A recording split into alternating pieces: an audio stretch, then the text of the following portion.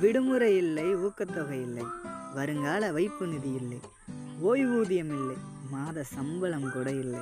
இருந்தாலும் முகம் சுளிக்காமல் நாம் முன்ன உழைக்கிறார் விவசாயி. வாழ்க விவசாயம் வளர்க விவசாயி. ஏன்னா இன்னைக்கு வீடியோ தொடங்குறது உங்கள் செந்தில். இது நம்ம சேனல் நம்ம ஒரு வந்து. இது வரைக்கும் சப்ஸ்கிரைப் பண்ணிவிடுங்க சப்ஸ்கிரைப் பண்ணிக்கோங்க. அப்படியே பக்கத்தில் இருக்க பெல் ஐக்கானையும் கிளிக் பண்ணிக்கோங்க. வாங்க இன்றைக்குள்ள வீடியோக்குள்ளே போகலாம் இன்றைக்கி நம்ம என்ன பார்க்க போகிறோம் அப்படின்னு பார்த்தீங்கன்னா நம்ம ஊர் அதுவும் என்னோடய சொந்த ஊரான வெம்பூரை பற்றின வெம்பூருன்னு சொன்னாலே ஞாபகம் வர வெம்பூர் ஆட்டை பற்றி தான் பார்க்க போகிறோம் நம்ம ஊர் பொட்டுக்குட்டிக்கு எப்போவுமே மவுசுதாங்க. நம்ம ஊர் பொட்டுக்குட்டி பற்றி சொல்லணும்னா சொல்லிக்கிட்டே போகலாம் இதை விருப்பப்படாத ஆளே கிடையாது. நம்ம ஊர் கெடாய்க்குள்ள மவுஸே வேறுங்க. ஸோ வாங்க இன்னைக்கு வீடியோக்குள்ளே போகலாம் நம்ம ஊர் பிரீடரான ரவி பெரியப்பாவை பற்றி இந்த வீடியோக்குள்ளே பார்க்கலாம். லெட் ஸ்டார்ட் த வீடியோ விருப்பம் வணக்கம். வணக்கம் வணக்கம். விருப்பம் உங்கள் பேர் சொல்லுங்கள் நீங்கள் எங்கே இருக்கீங்க? அந்த மாதிரி டீட்டெயில்ஸ் நான் ரவி. நான் இந்த இந்த வெம்பூர் கிராமத்தில் பிறந்து வளர்ந்தவன் தான். சரி. விருப்பா இப்போ வந்து நம்ம ஊரில் வந்து இந்த பொட்டுக்குட்டி வந்து நேட்டிவ் வந்து நம்ம ஊர். ஆமாம் இப்போ நம்ம ஊரில் இந்த நேட்டிவ் குட்டி பொட்டுக்குட்டி வந்து கிட்டத்தட்ட எத்தனை வருஷத்துக்கு மேலே நீங்கள் வளர்த்துட்டு இருக்கீங்க? இது இந்த பொட்டுக்குட்டி நீங்கள் எப்படி வாங்குனீங்க? நான் இது வந்து இது எவ்வளோ நாளாக வெம்பூரில் இருக்குங்கிறது தெரியாது. சரி இது வந்து நான் வந்து வெள்ளாடு தான் மேய்ச்சேன். சரி சரி. இதுக்கு வந்து வெள்ளாட்டுகளுக்கு இந்த கல்ச்சல் நோய் அந்த நோய் இந்த நோய் வந்து நிறைய இறப்பாச்சு.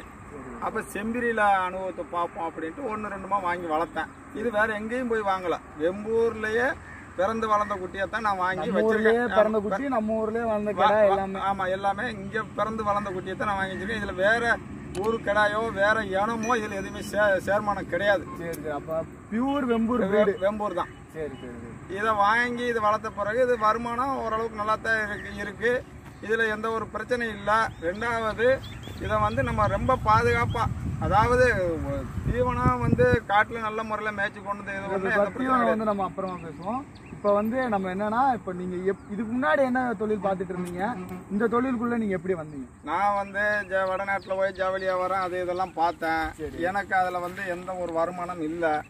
சரி ஆட்டை வாங்கி வளர்ப்போம் அப்படிங்கிற போது முதல் வெள்ளாட்டை வாங்கி தான் வளர்த்தேன். வெள்ளாட்டில் வந்து நோய் ஜாஸ்தி இருந்ததுனால வெள்ளாட்டை விட்டுட்டு செம்பரிக்கு போயிடுவோம்னு சொல்லிட்டு சும்மா ஒரு ரெண்டு மூணு குட்டியை வாங்கி வளர்த்து பார்த்தேன். அது நல்லா தெரிஞ்சது. அதுல இருந்து அப்படியே ஃபுல்லாவே செம்பரிக்கு மாறியாச்சு. சரி இப்போ வந்து இந்த இப்போ செம்பரி ஆட்டில் வந்து உங்களுக்கு லாபம் ஒரு குடும்பத்தை ஓட்டுற அளவுக்கு வருமானம் வருது. ஒரு மூணு பிள்ளைகள் நாலு பிள்ளைகள் ஒரு குடும்பத்துக்கு எந்த பிரச்சனையும் யார்ட்டையுமே கை கையாந்த வேண்டியதில்லை.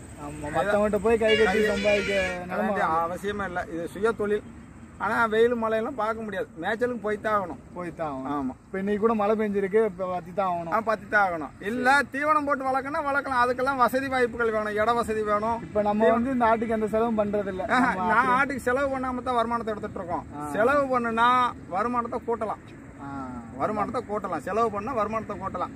ஒரு பசுமாடு வளர்க்குறோம் அரை லிட்டர் கறக்கு கிலோ இருபது ரூபா இருபத்தஞ்சு ரூபா போட்டு பருத்தி விதையை வாங்கிறோம் தவிட போடுறோம். ஆனா இந்த ஆட்டுக்கு அது கிடையாது. காட்டு மேய்ச்சல மேய்க்க கம்மா தண்ணியை விடுறோம். இந்த அடிப்படையில் ஆட்டுக்கு இப்படியே மேய்ச்சாலே நல்ல லாபம் கிடைக்கும். லாபம் தான். இதுல வந்து நஷ்டமே கிடையாது. இது எந்த எந்த அதாவது எவ்வளவு ஹீட்டான பூமியா இருந்தாலும் ஏத்துக்கணும். வெயில வந்து நல்லா தாங்கக்கூடிய சக்தி உள்ள ஆடு. அதனால இது வந்து காஞ்சி போன சண்டு சருகையும் மேயும் பச்சையும் மேயும். அதனால இந்த இந்த வெம்பூரியான ஆட்டை பத்தி நம்ம கவலைப்பட வேண்டியதே இல்லை. சேத்துலையும் பத்தலாம் புழுதியிலையும் பத்தலாம். வெயிலையும் தாங்கும் மழையையும் தாங்கும்.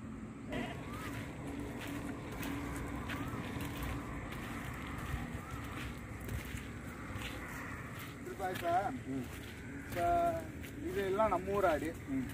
இப்போ இதுலயே வந்து நிறைய வெள்ளை வச்சு நம்ம ஊர் ஆடுனா இப்படிதான் இருக்கும் அப்படின்னு ஒண்ணு இருக்கும்ல. அந்த மாதிரி நம்ம ஊருக்குன்னு தனியா நம்ம ஊர் ஆடுனா இப்படிதான் இருக்கும். அந்த மாதிரி ஏதாவது இருக்கா? அதாவது காது கொஞ்சம் அகலமா இருக்கும் மண்டை கனமா இருக்கும். சரி சரி. முன்னாடி மக்கள் வந்து ஆறடி உயரத்துல இருந்தாங்க. இப்ப நார்மலா அஞ்சு அடிக்கு வந்துருச்சு. அந்த மாதிரி நாளடைவில் ஆக ஆக குறையத்தான் செய்யும். கிளைமேட் சேஞ்ச் சேஞ்ச் ஆக சேஞ்ச் ஆக அந்த மாதிரி குறை இருக்கிற இந்த மண்டக்கனமான ஆடும் இருக்கு. காது அகலமான ஆடு இருக்கு. வால் நிகழமான ஆடு இருக்கு. வால் இல்லாத ஆடும் இருக்கு. அதையும் எடுத்துக்கோ. அந்த வால் வால் பிறவியில வால் இல்லாம அதாவது ஊனமுற்ற ஆடு மாதிரி அதெல்லாம் நம்ம கணக்கு சொல்ல முடியாது. அதே இது வந்து அந்த மாதிரி நீ கேட்குற மாதிரி ஒரே மாதிரி இருக்குன்னா அது பிறக்கி எடுத்து போட்டு தான் வைக்க முடியும். அந்த மாதிரியே பார்த்து தெளிவாக பார்த்து பிறக்கி ஒரு பண்ணைக்குன்னா வைக்கணும் அப்படின்னா வைக்கலாம். நாங்க வந்து அப்படி கணக்கெல்லாம் பார்க்க முடியாது. நாங்க எங்க பொழப்புக்கு தேவை. இது தெளிவான குட்டி. அப்படின்னா அதில் உள்ள குட்டிகளை தெரிச்ச குட்டிகளை ஆட்டுக்கு விட்டு இனப்ப பிறக்கம் பண்ணி அதில் நாங்கள் வருமானத்தை சரி இப்போ பெரியப்பா நம்ம ஊர் ஆடுனா இந்த பிரவுன் கலரும் அந்த பொட்டு இந்த பொட்டு. தான். கரு கருவெல்ல பொட்டு இருக்கும் இந்த பிரவுன் திட்டு திட்டான பொட்டு இருக்கும். இப்போ வந்து இந்த ரா போர் கேட்கறதுனால முதுகு பூரா கொஞ்சம் சிவப்பா வர்ற மாதிரி குட்டியை ஒதுக்குறோம். இப்போ வந்து அடுத்து அவங்க கேட்குற விருப்பப்படுறாங்க. விருப்பப்படுறது விருப்பப்படுறது இது. அது ஏன் அப்படி விடுறோம் அப்படின்னா இதுல அந்த பொட்டுக்கடாய இதுல விட்டோம்னா இதுல இன்னும் நாலு பொட்டுவோட விழுகும் இந்த முதுகு ஃபுல்லா சிவப்பு வராது. அதனால தான் இந்த சிவப்பு கலர் ஆடுகளை கொஞ்சம் அதுல அதுல பிறக்கிற குட்டியவே நாங்க விடுறோம். அது போட்டா இந்த மாதிரி பொட்டு விழுந்துரும் இல்லைன்னா ரொம்ப பொட்டு மாதிரி விழுந்துரும். ரொம்ப அதுவும் அதையும் காமிக்கிறேன். இந்த- இந்த- வெள்- அந்த அந்த அந்த ஊட அந்த அந்த ஒரு வெள்ளை பொட்டு இந்த ஒரு வெள்ளை பொட்டு இருக்குல்ல கலந்த பொட்டா போயிடும் சரி சரி சரி. ரெண்டும் வந்து அந்த பொட்டு பொட்டு பொட்டா? ஆமா அதாவது குறைஞ்ச குறைஞ்ச பொட்டுல போய் குறைஞ்ச பொட்டு உள்ள கடாய் போட்டோம்னா அதுல இருக்கிற பொட்டும் காலியா போயிடும் இப்போ தாயும் அப்படி இருந்து. தகப்பனும் அப்படி இருந்து இருக்கும்போது ரெண்டு கொஞ்சம் பொட்டு வந்து பத்து பொட்டு இருக்கிற இடத்துல நாலு பொட்டு இல்ல ரெண்டு பொட்டு தான் இருக்கும். அதனால கிடாய ரா கடாய போடுவோம். இல்லைன்னா இந்த ரா குட்டிய ரா ராயாடாகி போச்சு அப்படின்னா அந்த சிவப்பு கலர் ஆடாகி போச்சுன்னா அந்த பொட்டு கடாய விடுவோம் கிடம் அதுக்கேற்ற மாதிரி மாற்றிக்கிறது இப்போ வாங்க விருப்பப்படுறவங்களும் நிறைய பொட்டு இருந்தாலும் விருப்பப்பட மாட்டாங்க. நிறைய பொட்டு இருக்கிறத விருப்பம் பண்ண போறோம் ராப்போர் தான் கேட்காங்க. இப்ப ரெண்டு ரா கடாய் வித்துருக்கேன். இந்த சிவப்பு கலர். ஆனா அடி அடியில வந்து வெள்ளை அந்த கால் வெள்ளை அது ஒரு சில வெள்ளைகள் இருக்கும். அப்படி இரு இருக்கிறத விட சொல்றான். அப்படித்தான் கேக்குறாங்க. இப்போ இந்த பக்ரீத்துக்கு கோயிலுக்கு விடுறவங்க எல்லாம் அந்த மாதிரி கடை அது வந்து கொம்பு. இது கொம்பு கடாய் இது நாட்டு இனம்னு அவங்களுக்கு தெரியும். இது வந்து வெம்பூர் இன ஆடுன்னு அவங்களுக்கு தெரிஞ்சா அந்த கடாயை அது என்ன விலையாவது கொடுத்து வாங்கிட்டு போயிருவாங்க சரி சரி. அப்போ நம்ம ஊர் ஆட்டுக்கு என்ன விலை வச்சாலும் வாங்கி ரெடியா வாங்கிட்டு போறதுக்கு இருக்கு. ஆனா உற்பத்தி பண்றதுக்கு தான் ஆளு கிடைக்கும் உற்பத்தி பண்றதுக்கு தான் இல்ல. ஆள் இல்ல. ஆளு.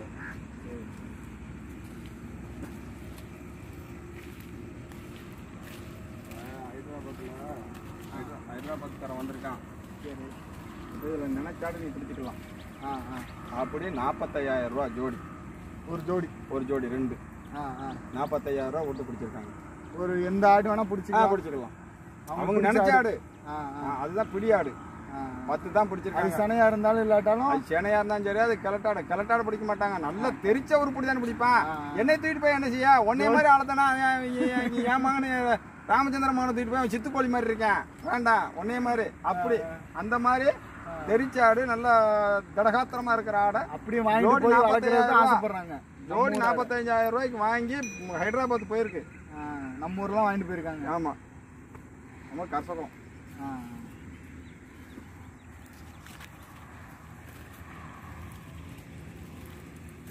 இந்த தொழிலில் ரெஸ்ட் இருக்காது. மழை பெஞ்சாலும் சரி வெயில் அடிச்சாலும் சரி இடி விழுந்தாலும் சரி போய்தான் ஆகணும்.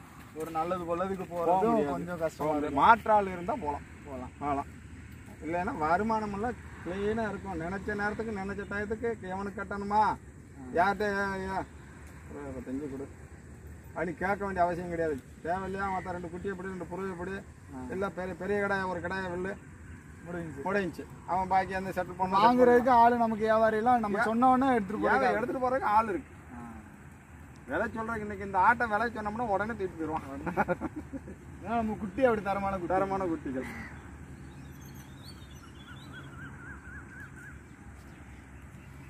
நம்ம இப்ப நீங்க நீங்க ஒரு ஆளா மெயின்டைன் பண்றீங்க. ஆமா. இதுல ஏதாவது உங்களுக்கு கஷ்டம் இருக்கா?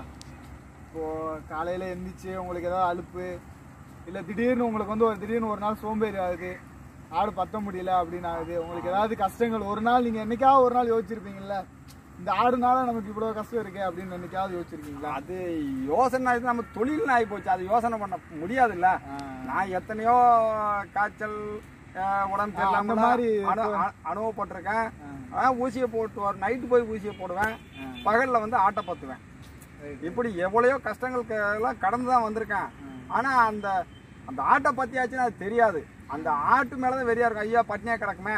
பட்னியா கிடக்குமே? ஏன்னா எனக்கு நம்ம மாத்தா போறேன்னா அதுக்கு அதுக்கு அதுக்கு அதுவும் பட்டினி ஆமா இப்ப இந்த மழை பெஞ்சிருக்கு. இந்த ஈரம் தான்.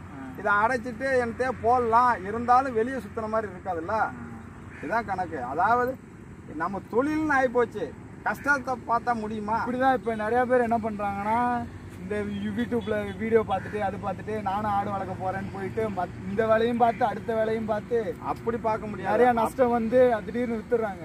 அதனாலதான் கேக்குறேன் உங்களுக்கு திடீர்னு அந்த மாதிரி ஏதாவது இது வரைக்கும் என் ஆட்டை விற்கணும்னு இது வரைக்கும் நான் நினைக்கவும் இல்ல. என் மகங்க எனக்கு கஞ்சி ஊத்துனாலும் சரி ஊத்தாட்டாலும் சரி நான் ஒரு கம்பை ஊனிக்கிட்டாவது ஒரு பத்தாட்டை வச்சு மேய்ச்சாவது என்னுடைய வாழ்க்கையை ஓட்டிட்டு போயிடுவேன். ஆனா ஆட்டை வைக்க மாட்டேன். ஆடு இருக்கும். நான் இருக்கிற வரைக்கும் ஆடு நீங்க இப்ப வளர்த்தே ஒரு இருபது வருஷம் தான் ஆகுது. ஆமா. அப்படி அதுக்கப்புறமும் அவங்க நீங்க உங்களுக்கு இவ்வளவு தைரியம் ஆட்டுல இந்த ஆடு இல்லைன்னா என்னை யார் யா மதிப்பா? ஒரு பையன் மதிக்க மாட்டேன். இந்த ஆடு இருக்க போய் தான் நம்ம ஒரு கெப்பாசிட்டியோட இருக்கோம்.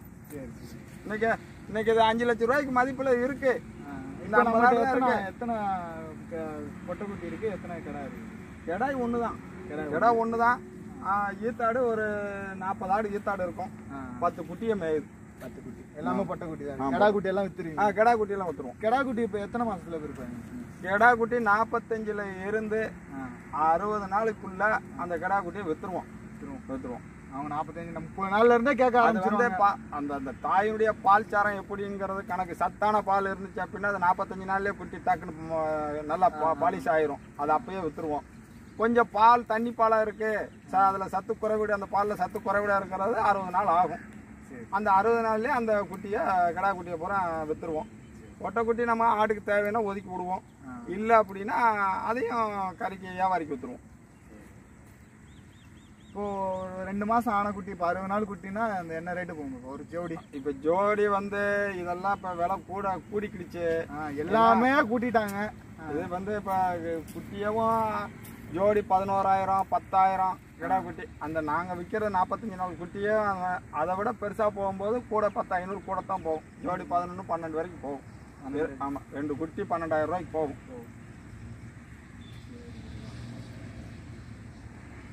சரி பெரியப்பா. ஆ சரியா. இது இன்னைக்கு போதும். இன்னொரு நாளே அது என்னென்ன நோய் வரும் அதுக்கு என்னென்ன மருந்து போடுறீங்க ரைட்டு எப்படி தீவனம் வைக்கிறீங்க காலைல என்ன தீவனம்? தீவனம்னா நம்ம போடுறது கிடையாது. நீங்க வேற ஏதாவது எக்ஸ்ட்ரா வைக்கிறீங்களா அந்த மாதிரி எதுனா இன்னொரு வீடியோல கண்டிப்பா சரி சரி. சரி நன்றி.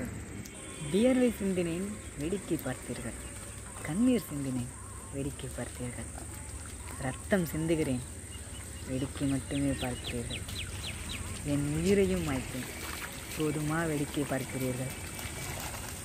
இப்படிக்கு உலகம். ஸோ விவசாயத்தை பற்றி யோசிப்போம். இதோட விடைபெறுவது உங்கள் சந்தை. இது நம்ம சேனல் சொந்த ஊர் வெம்பூர் இது வரைக்கும் சேனலை சப்ஸ்கிரைப் பண்ணாதவங்க சப்ஸ்கிரைப் பண்ணிக்கோங்க. அப்படியே பக்கத்தில் இருக்க பெல் ஐக்கானையும் கிளிக் பண்ணிக்கோங்க. ஸோ தேங்க்யூ ஃபார் வாட்சிங்